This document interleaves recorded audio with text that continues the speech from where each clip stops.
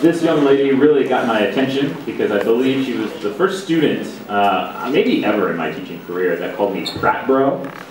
Um, but what I um, really appreciate, appreciate about this young lady um, is that when she worked hard, whether it was for a poetry slam, whether it was an art project, whether it was an essay for Taylor or even something in science, um, she did it not just for the grade, but because she wanted to be proud of her um, and a lot of drive. And I know that her family's very proud of her, and we're very proud of her, so I want to call it for Rena.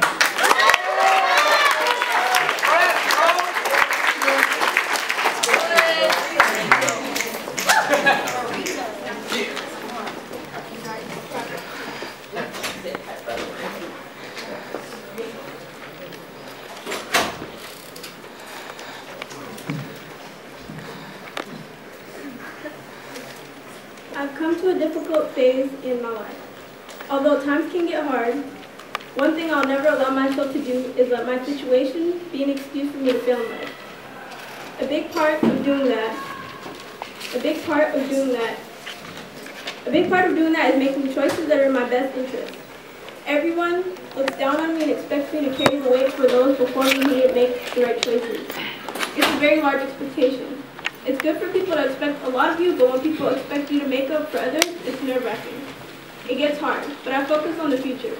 There's a saying, after every hardship comes ease.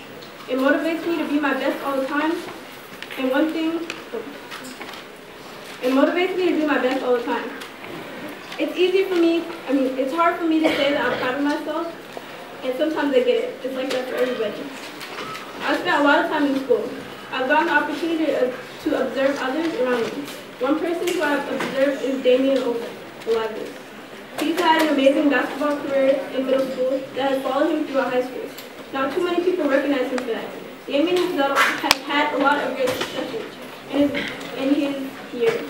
Something he should take something he should take pride, pride in. Because of his best because of his basketball, Damien has chosen to maintain good grades. Damien has also gone to practice to become better at basketball. He's done all this for himself. He tries hard in school to become a great student and a great athlete. Damien isn't recognized for all the good he does. Damien should be proud of his successes in life. We all have something to be proud of.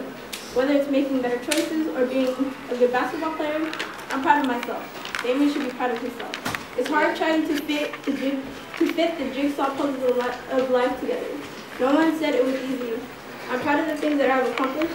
As a freshman, this year, I think that the whole entire freshman class has had a lot of hits and misses.